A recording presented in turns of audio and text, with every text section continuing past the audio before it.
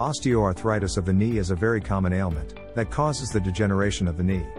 The progression of this may lead to the need for knee replacement. The degeneration of the knee starts with a root injury that leads to the extrusion of the meniscus, and thereby turns a functional meniscus into a non functional meniscus. Osteocare provides a novel approach to reduce this extrusion using an OsteoKnot-Ex anchor. The OsteoKnot-Ex anchor is an all suture anchor loaded with two pieces of USP size 0 UHM WPE fibers. By establishing a high anteromedial portal, the OsteoKnot-Ex anchor is inserted at the margin of the tibia using a drill sleeve.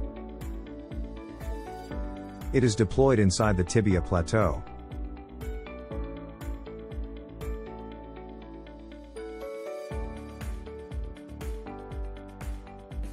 and then the serial passages are made sequentially using 45 degree curved suture passer.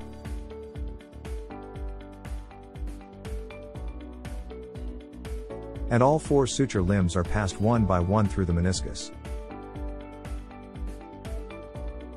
The knots are tied individually using a knot pusher, which corrects the meniscal extrusion and restores its function, thus reducing the risk of the development of osteoarthritis.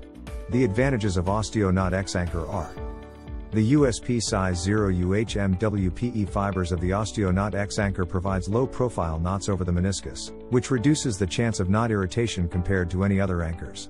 The small diameter of the OsteoKnot-Ex anchor provides excellent pull-out strength. The OsteoKnot-Ex anchor in partnership with RootFix anchor helps realign the meniscus, and hence helps prevent osteoarthritis and other major knee surgeries.